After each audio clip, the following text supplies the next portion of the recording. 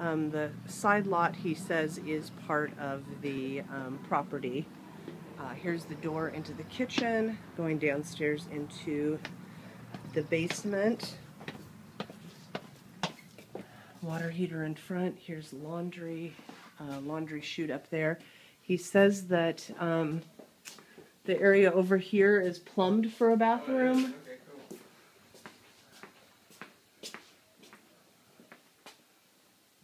I'm guessing where that's the toilet stack that goes down. It's kind of hard to see. Um, here is a new, newer electric panel. smells dry down here. Walk through to this area. It's unfinished, but it does have a legal size window.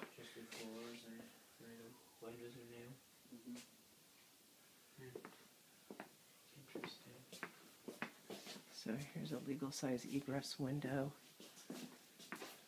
And space over here. The ceilings look high enough where this could be legally finished.